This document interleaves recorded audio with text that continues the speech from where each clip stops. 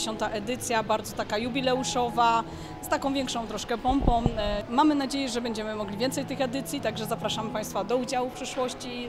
Sporo wystawców było z różnych e, branży, zarówno e, ślubnej, jak i w ogóle z mody weselnej. Tak naprawdę wszystko, od samochodu, ubrania sali, po no, wynajęcie i lokalu, torty weselne, tak samo kapele, mógł sobie zrobić troszeczkę przegląd i DJ-ów, kapel weselnych.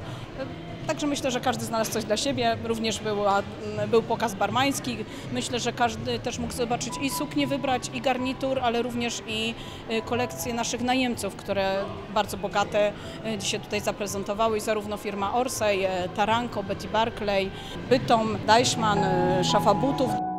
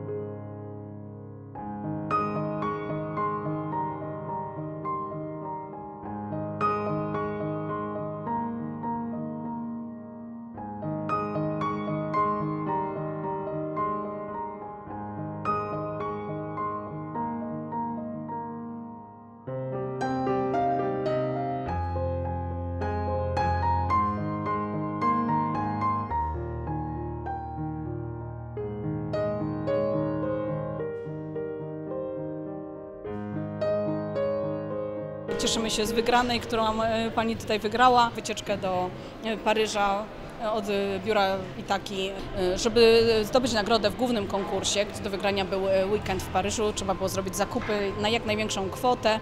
Zakupy były liczone już od środy, można było zbierać punkty i e, kto uzyskał największą ilość punktów oczywiście wygrywał wycieczkę, ale również i za drugie i trzecie miejsce były nagrody też od jubilera Sezam, od perfumerii Douglas, ale również i naszych wystawców, także myślę, że wszyscy zadowoleni. Mamy drugi konkurs, który dziś no, trwał podczas dzisiejszego dnia od godziny 12 do 17. Rozstrzygnięcie tego konkursu będzie 21 e, lutego na profilu Facebook Galerii Tarnowia. Zapraszamy do śledzenia, polubienia, obserwowania.